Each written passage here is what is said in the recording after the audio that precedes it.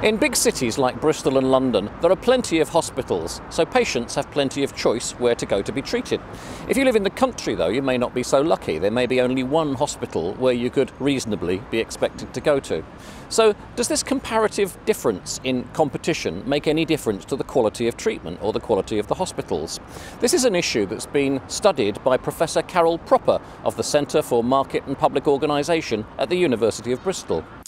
Competition in healthcare uh, is essentially competition between hospitals to provide services for patients in England wherever those patients want to go. So you can go to your GP and say, I'd like to travel to Newcastle for my treatment. I'm here in Bristol, and your GP can send you to a Newcastle hospital if you want to go there. Well, what happens is there's a fixed price for any kind for a particular kind of treatment.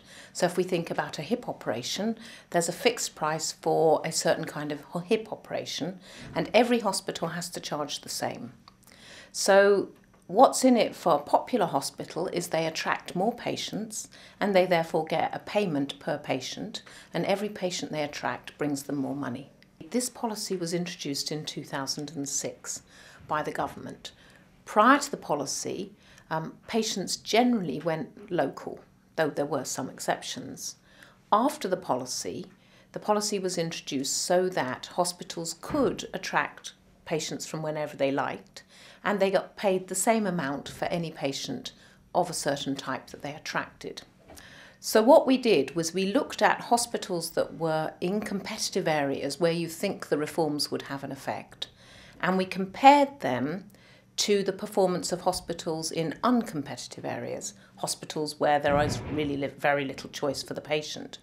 And we asked, did the quality in the hospitals where there was competition improve more after the reforms than the quality for hospitals located in uncompetitive areas? What we found was that both sets of hospitals improved their quality after the reforms but that hospitals that were located in competitive areas improved their outcomes more than the other group of hospitals. So we inferred from that, after doing various statistical tests, that essentially competition had brought about a bigger improvement of quality than being in a not competitive area. Does competition save lives? It does save lives. Um, the outcomes that we and researchers at the LSE looked at were um, how many people died from cert- after admission to hospital for certain conditions, and we found that competition in the current regime appeared to save lives without increasing costs. So essentially, it's doing good things. Hospitals in competitive areas are having lower death rates and they aren't spending any more money to get those lower death rates. In another study, Professor Propper found that competition based on price was not good for patients, whereas competition based on quality is. We did studies at Bristol on the impact of the competition in the 1990s so called internal market, in which we found that competition was potentially harmful for patients in the form that it then took. Um, essentially, the reason was that in the 1990s, prices were not regulated. And we know that competition in healthcare, where prices are not regulated, tends to lower quality because people compete on costs and bringing costs down. Now, one person who thinks that's extremely significant for the future of the NHS is one of the UK's leading social commentators, Polly Toynbee of The Guardian.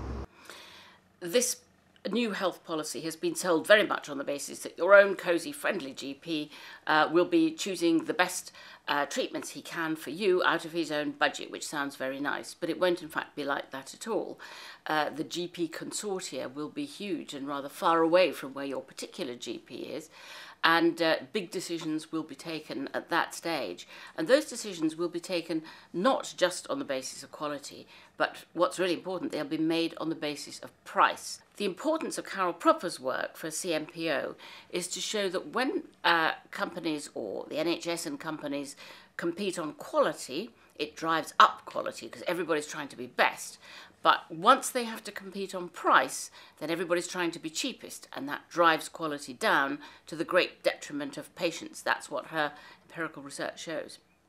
The Conservative government has the research already there. It's all there for them to read and see if they bothered to. But instead, they're being driven by their own ideological beliefs on the health service, going for what they've called a health service revolution, extraordinarily radical, without studying the effects of what they're doing. And on this occasion, I think it's quite disgraceful that they've ignored Carol Propper's research, which really would put them on the right path. I think it's clear that in line with some of the international literature, the kind of competition regime that we've got at the moment, which is free choice of hospitals, but free choice at a fixed price, has worked in England. There are there's not only the studies that we've done here at Bristol, but there are studies by um, researchers at the LSE that come to more or less the same conclusion. So it appears that that policy has worked.